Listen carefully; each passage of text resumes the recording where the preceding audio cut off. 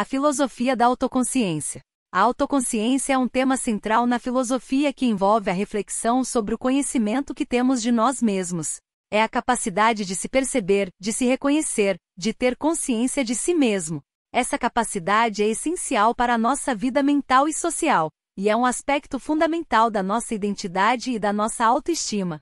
A filosofia da autoconsciência se ocupa de diversas questões, tais como: como podemos ter conhecimento de nós mesmos? Existe uma natureza essencial do eu que pode ser descoberta através da introspecção? Qual é o papel da linguagem e da cultura na construção da nossa identidade? Uma das teorias mais conhecidas na filosofia da autoconsciência é a teoria do self de David Hume. Segundo Hume, não existe uma entidade substancial que chamamos de eu, em vez disso, a ideia de um eu consiste em uma coleção de impressões e percepções que estão constantemente mudando. Essa teoria é conhecida como o meanismo e tem sido bastante influente na filosofia.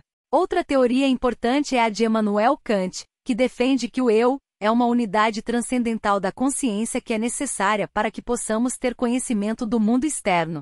Segundo Kant, a autoconsciência é uma condição necessária para a experiência. Já a filosofia contemporânea tem se preocupado com a natureza da autoconsciência em relação à mente.